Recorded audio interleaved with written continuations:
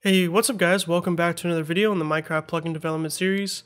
In this video, I'll be showing you how to create a new Minecraft plugin project without using the Minecraft plugin on IntelliJ. So the first thing you want to do is just create a new project on IntelliJ. Instead of selecting Minecraft, if you have that plugin, just select new project because we're just going to be making a default Java project. And then what you want to do is give the project a title and also choose where you want it to live. So now you can choose what you want the name of the project to be. This will be the root folder for the project within the tutorials folder as well. So I'm just going to call it uh, MC plugin default. Okay. And so now what I'm going to do is go ahead and make sure that you create a Git repository if you want that. If you don't want that, then you uncheck it. If you don't really care about uploading it to GitHub or anything like that. Uh, for the language, just choose Java. Build system, you want to choose IntelliJ instead of Maven.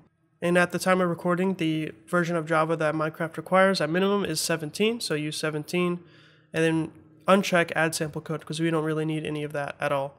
All right, so that's pretty much all you need to get started creating your project. So click create now. Now the project is being generated by IntelliJ for you.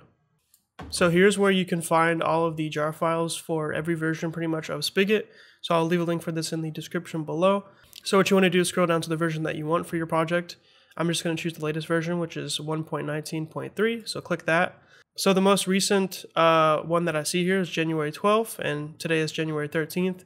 So I'm just going to go ahead and find the Spigot API, and here's the version number, and then shaded.jar. This is the one that we want, so we're going to just click it, and it should download it automatically for you, which it does. Awesome. So now what we're going to do is move this file here into a safe place that we want to store it, and now we can import it into our IntelliJ project, okay? So now that you got the jar file downloaded and you put it in a place where you know where it is, now you can import it to your project. So go to File, go to Project Structure, then go to Modules, and then go to Dependencies, this tab here, and then we're going to add a new dependency, so click the plus. This one's going to be a jar, and then we want to find where we put it. All right, here we go. So I found the file that I downloaded, so I'm going to click it, click OK, and now we've got it imported into our project. So click Apply, and there we go. Now it's going to be importing everything. Click OK again. And now we should be able to use the Spigot library within our plugin here inside of our code. Now it's time to create the files for our plugin so that our plugin can compile and run successfully. So the default minimum files that we need. Now typically what you want to do is now give your project some structure. So create a default package for your project, to, your code to live in. So go to source and do new. And then we could do package. And typically you want to give this package a name something like either your website backwards or just something unique so that it can identify your code from someone else's code. So a convention is to do like a website. So let's say you own kodysimpson.com, then you would do com.kodysimpson, and that would be your package, your base package. If you don't have that website, obviously you can call it something like me.kodysimpson. That's another common convention for package names.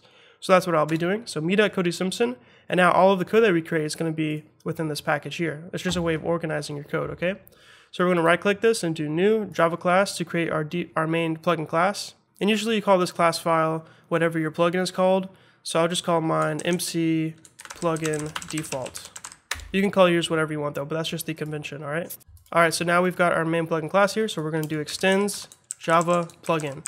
And if you see this here, this means that you successfully imported the Spigot jar. So now you can use it. So click that. So now we can do stuff like have our on enable method. So you can start typing on enable and it'll give you that suggestion. So double click it. Now we're overriding that method available from the Java plugin class.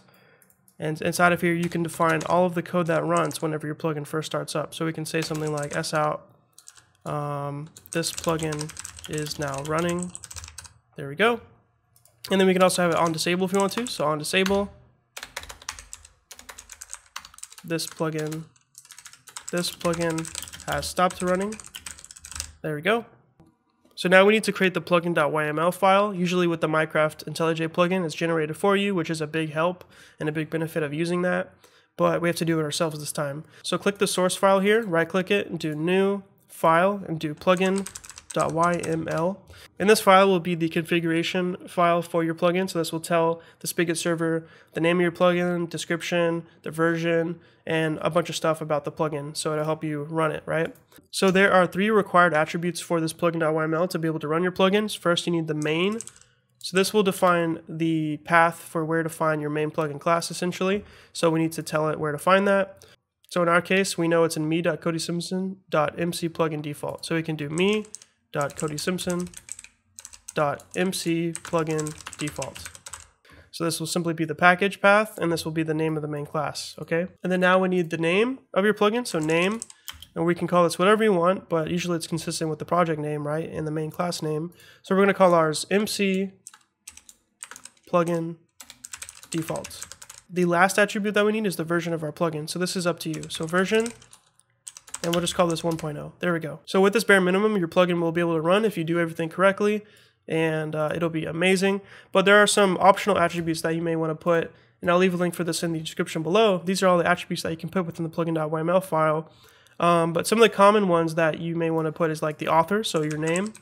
So you can either do like your gaming name or your whatever name you want to put. So I just I'll just put Kody Simpson. So author Kody Simpson. You can also do the API version. So this is the API version of the plugin. So in this case, since we're doing 1.19, we'll do 1.19.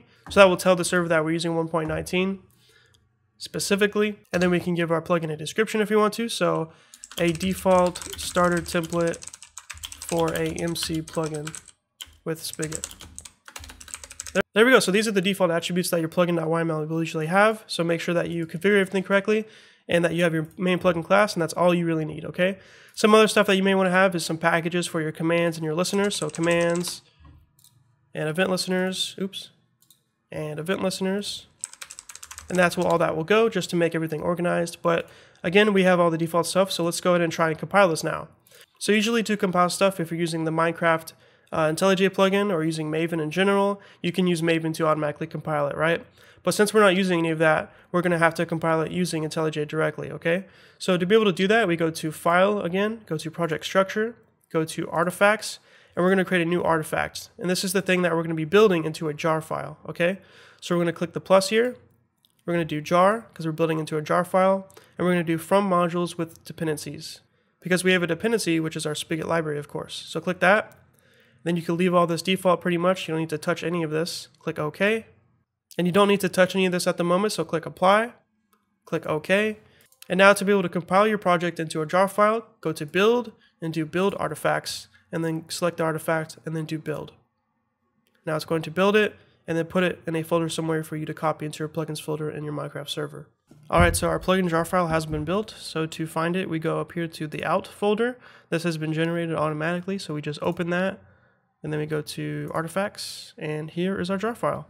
And so if you want to move it into your plugins folder, you just go ahead and right click this uh, and then do open in Explorer. This will open up in your File Explorer. So just go ahead and copy this now, go to your plugins folder on your server and paste that right there.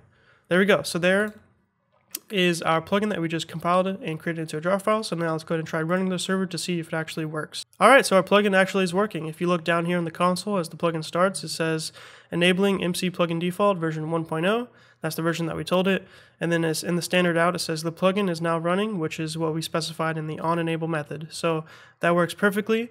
So now if we go ahead and stop the server, it now says the plugin has stopped running, which we told it to say in the on disable method. Perfect. Now, one thing I want to show you real quick is how to change the output directory of your plugin artifact, your jar file, so that it goes right into your plugins folder automatically. So if we go back to File, Project Structure, go back to Artifacts, go back to your artifact that you created. Now here in the output directory, simply change it to where you want it to be. In my case, I'm just going to go and copy the path here. There we go. So here's the plugins folder. So click OK, click Apply, OK. Now we can go back to Build and do Build Artifacts, and then Build and it should rebuild it and put it into the plugins folder instead of the output directory here.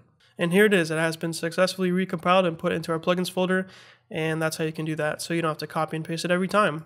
And that's it. So thanks guys for watching this video. That's how you can create a MC plugin, a Minecraft plugin, just using IntelliJ uh, without any other tools involved. Okay. So thanks for watching. Hopefully you learned a lot, and peace.